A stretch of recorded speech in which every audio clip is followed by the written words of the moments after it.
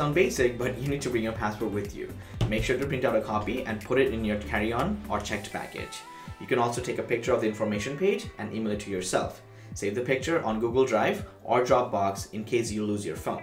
During my trip to London, one of my friends actually lost his passport, but having a copy of it really helped him a lot. If you're going somewhere that's going to rain a lot and you're going to carry your passport with you, then you can always take a Ziploc bag and put your passport inside it so that it stays dry.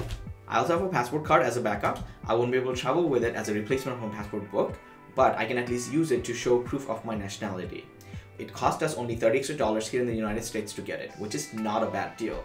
Check if your country has something similar as well.